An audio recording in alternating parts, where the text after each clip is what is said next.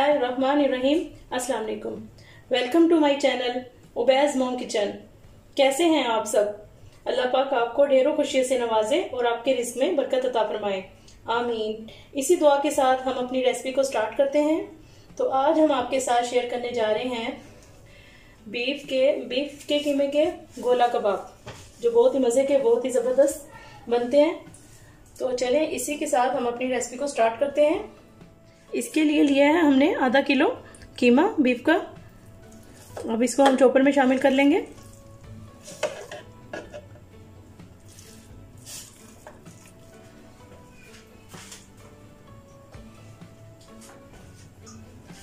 आधा कप प्याज फ्राई की हुई शामिल करेंगे। दो चम्मच हमने भुने हुए चने का पाउडर लिया है, शामिल करेंगे। अदरक लहसुन का पेस्ट, एक एक चम्मच एक चम्मच लहसुन का और एक चम्मच अदरक का पेस्ट शामिल करेंगे। फ्रेश कुटा हुआ। एक अदद लेमन जूस शामिल करेंगे। दो अदद साबुत मिर्चें शामिल करेंगे। ये मसाले जो हमने लिए हैं, एक चाय का चम्मच नमक, एक चाय का चम्मच कुटी हुई लाल मिर्च, एक चाय का चम्मच कुटा पिसा हुआ धनिया एक चाय का चम्मच लाल मिर्च पाउडर, एक चम्मच, एक चाय का चम्मच ज़ीरा, साबुत कुटा हुआ, हल्का कुटा हुआ एक चम्मच गरम मसाला आधी खाए का, खाने का चम्मच हल्दी पाउडर, आधी खाने का चम्मच चाट मसाला। ये सारे मसाले इसको, इसमें शामिल कर लेंगे।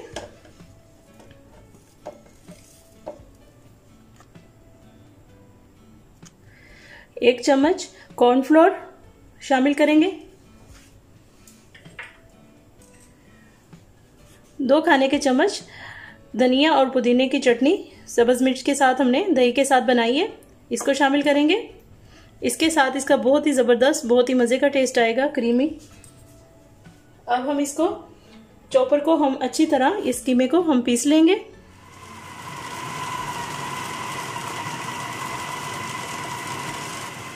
ये देखें, कीमा हमारा अच्छी तरह से पीस चुका है। अब इसको हमने चॉपर से निकाल लिया। अब इसके अंदर हम शामिल करेंगे two tablespoon cooking oil इसको शामिल करके हम इसको अच्छी तरह से मिक्स कर लेंगे, ताकि इसकी अच्छी सी बाइंडिंग हो सके। ये देखें, इसको अच्छी तरह से मिक्स कर लेंगे।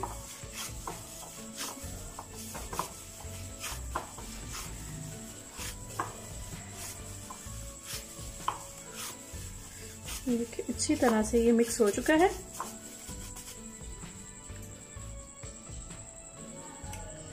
ये हमारा अच्छी तरह मिक्स हो चुका है। अब हम इसमें लगाएँगे।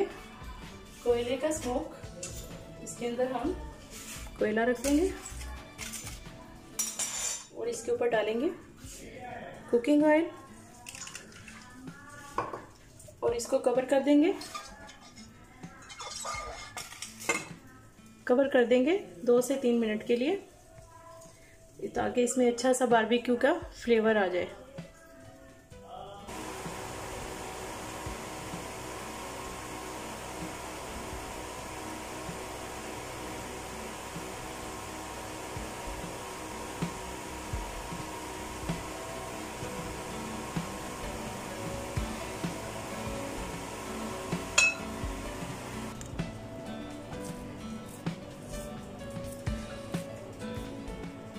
ये देखें। इस तरह से हम पहले इसको ऐसे दबा दबा के इसको इस तरीके से कॉर्नर से दबाएँगे। इसको ऐसे करके इसको इस तरीके से गोल शेप दे लेंगे और इसको इस तरीके से उतार लेंगे। ये देखिए, हमारे गोला कबाब इसी तरह सारे बनाते जाएँगे। ये देखें, गोला कबाब हमारे सारे रेडी हो चुके हैं। अब हम इसको फ्राई कर लेंगे। पैन में हमने ऑयल डाल दिया है।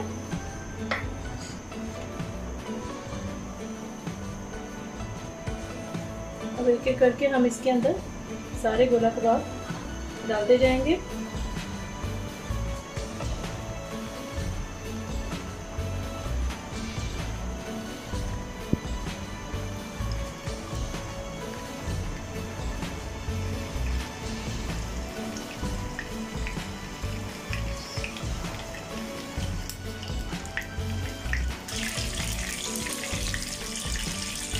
ये देखिए हमने इसके अंदर, अब इसको मीडियम फ्लेम पे इसको अच्छी तरह से शैलो फ्राई कर लेंगे।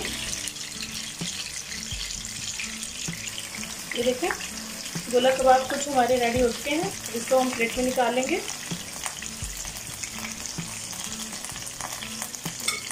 इस तरह हम सारे निकाल लेंगे और जो बाकी के हैं, वो भी सारे डाल देंगे। ये देखें गोला कबाब को हमने डिश आउट कर, कर लिया है।